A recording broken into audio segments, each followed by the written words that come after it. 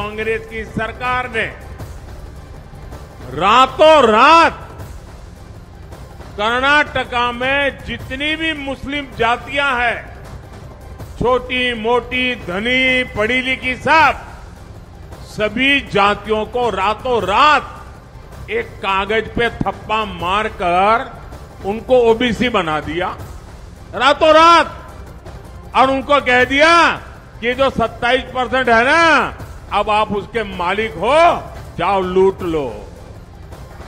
कांग्रेस का इरादा यूपी में भी यही खेल खेलने का है, यही कारनामा दोहराना है।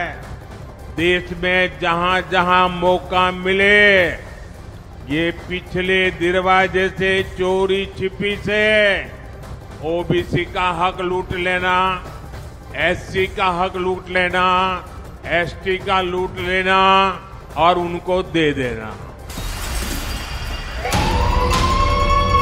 वही मध्यप्रदेश के मुरैना में रैली को संबोधित करते हुए पीएम मोदी ने कहा कि कांग्रेस कहती है, देश के संसाधनों पर पहला हक जबकि बीजेपी कहती है देश के संसाधनों पर। पहला हक गरीबों, आदिवासियों, वंचित लोगों का है। वहीं तेलंगाना में जनसभा को संबोधित करते हुए अमित शाह ने कहा कि सूबे में सरकार बनने पर तेलंगाना में कांग्रेस टीआरएस ने जो मुस्लिम आरक्षण दिया है, उसे खत्म कर एससी, एसटी और ओबीसी रिजर्वेशन में बदल दिया जाएगा।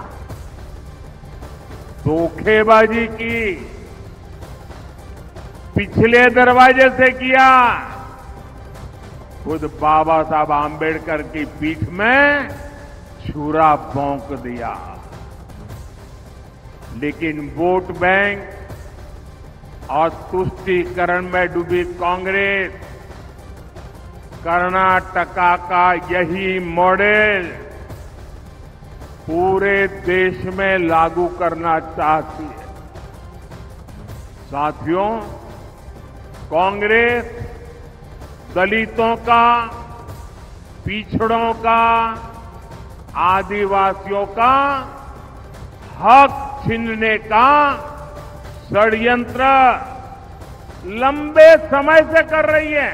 भारतीय जनता पार्टी ने तय किया है कि 17 सितंबर को हम तेलंगाना विमोचन दिन मनाएँगे, हम मजलिस से नहीं डरते।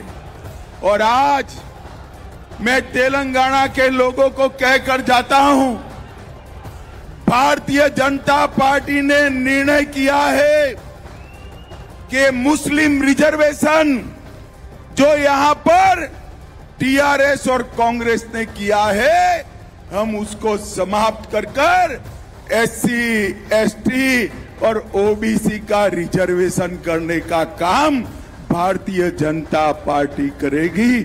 ये हमने तय किया है। और कांग्रेस अध्यक्ष मल्लिकार्जुन खड़गे ने प्रधानमंत्री